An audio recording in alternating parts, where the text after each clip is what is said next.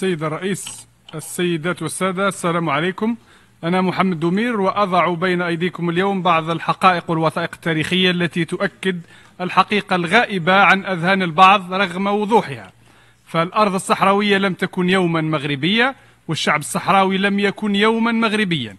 ودعونا نرجع إلى العام 1956 لم يوقع وزير الخارجية المغربي أحمد بن الفراج نيابة على الملك محمد الخامس آنذاك معاهدة 28 ماي التي تعترف بحدود المغرب دون أي اعتراض أو تحفظ أين الدبلوماسية المغربية فيما يخص الالتزام بالعهود؟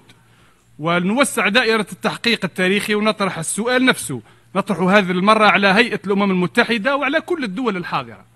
هل بلغكم أي اعتراض مغربي أو تحفظ عن حدوده أو مطالبة بالصحراء حين نال استقلاله وانخرط في المجتمع الدولي في 56 أم أنها فكرة بانت له بين عشية وضحاها السيدات والسادة الوثائق التاريخية تشهد على استقلالية الصحراء الغربية عن المغرب بكل وضوح فمعاهدات ورسائل سلاطين مراكش وهي متاحة لكم جميعا تحمل بصريح العبارة أن البلاد الواقعة جنوب وادي نون مستقلة تماما عن المغرب وقد تكرر هذا الخطاب Sorry, sir. ليس لسنوات بل interrupt you. لقرون You have one minute 35 Uh, left. I give the floor to the Moroccan delegation for a point of order.